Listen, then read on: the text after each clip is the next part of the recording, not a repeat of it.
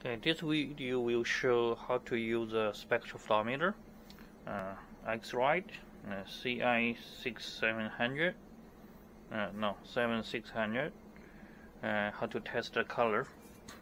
So this is the spectrum photometer itself. Here is the aperture. You can read the size of aperture. Right now this is using 6 millimeter, and this is back support. If you have a large specimen, you can use a different holder to put the different different size. This can be adjustable. We can develop your own holder uh, for any kind of stuff. Like uh, this is one of the holder.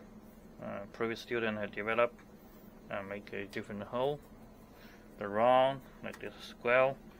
So the testing should be fit here, and you push in the back and do the testing. Okay, let's look at the machine. So the machine and the whole light sphere is in the front, and this is the aperture. We can open that, but open carefully. Okay, if you need to change aperture, you just push this gently. Okay, don't touch anything with the light sphere inside. So this can be moved out because it's magnetic. You can just remove it on the side, all the accessories are here with different apertures, like 10 millimeter, 25, and smallest one is 3.5. And today we, we just uh, to show you how to use the 6 millimeter. That is normally the general size. Okay, make sure it's a fit uh, right in the place. Okay. We have a two calibration stuff. The white one white ceramic tile and black trap. Black trap has a mirror inside, so don't put any finger in, in it. Okay, don't touch anything inside. Always hold outside. Okay, so when you get ready, uh, log in the computer with your Kerberos password. We'll get in here. Okay, look at the screen. This one is called eye color iControl. Double click on that and now you can see and the operator ID you can put in uh, doesn't matter uh, just leave it blank or you can just put in here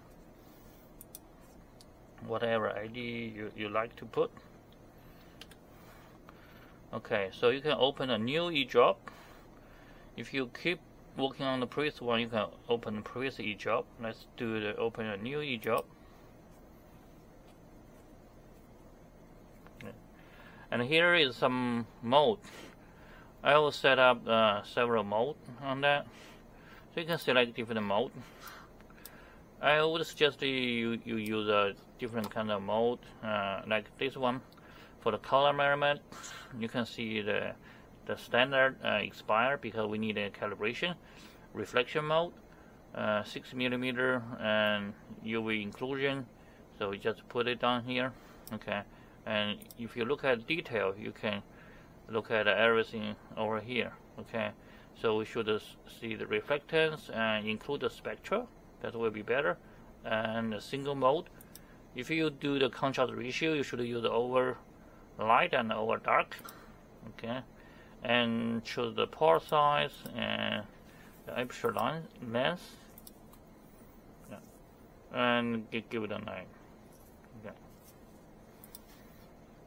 So there, there could be any others like wood. This is for the contrast ratio. Oops.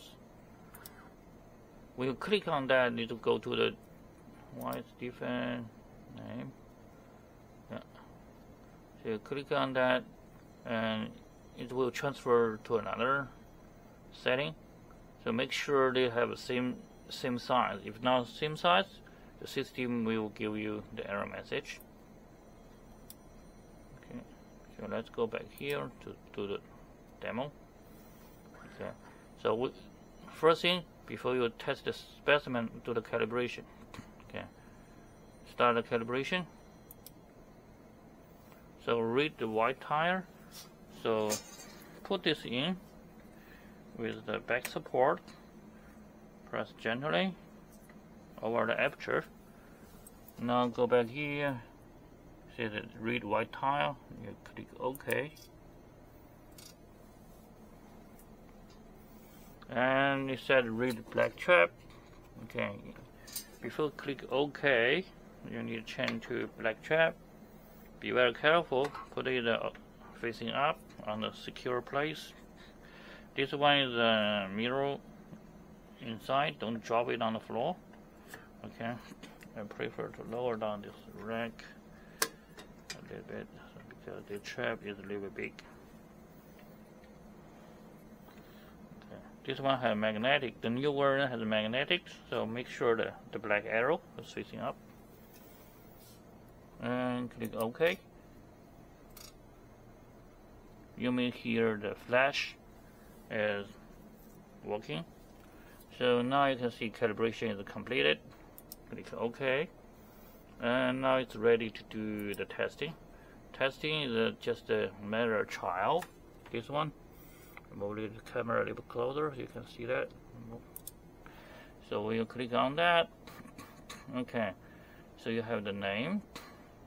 You input the name. Okay. For example let's see uh, so right now it's black. Just see black trap and see what happens so give the name just click next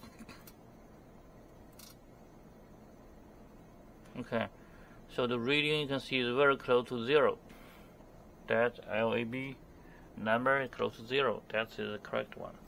Okay, let me do the test. Always put the black trap back here because it's big and there's a glass mirror inside. If you drop on the floor, and then we lose that standard. Okay, so this one is a white tile. Just see white. Okay. So there is a function called preview. If you have a sample you need to do the alignment, you can open that. The preview will show a camera inside the aperture. So if you need to see something, you can see the my gloves over here.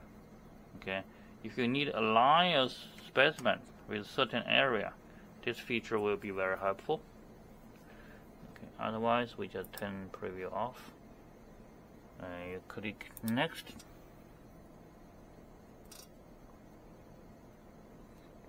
the flash is starting. Now you can see the readings. Supposedly we should see L100 yeah like that. But now somehow it's, something is wrong. Uh, we need to figure out why it doesn't show 100 okay pretty much this is uh, the testing. You can keep this window on and input another name for example number 3 and we test another specimen like that. For example like that. So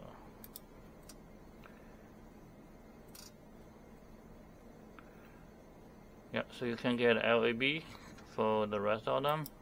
So you keep going on and on. And then you save that save e job okay? Remember give a name see what name it is. I suggest you save in this this file and you can make a folder okay? For yourself okay? Testing 002 whatever give a name. So you save that.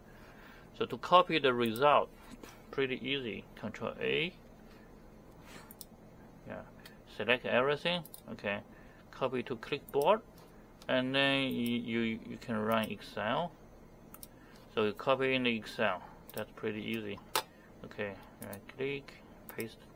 Yeah, everything is here. You can see L, A, B, data A, data B. This one is not quite useful right now. You just need L, A, B for the color and this name. So remember you put the name properly because uh, if you put here wrongly, you, there's no way you can change that. Okay. That's pretty much like that. So save this original file properly. It's very small file, it's very useful. So you save that and you copy paste the, the tables.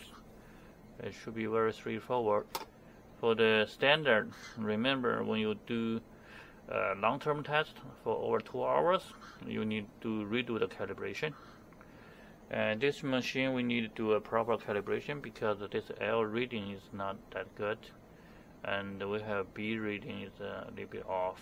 We should get this L close to 100 this one should be very close to zero. Okay let's stop the recording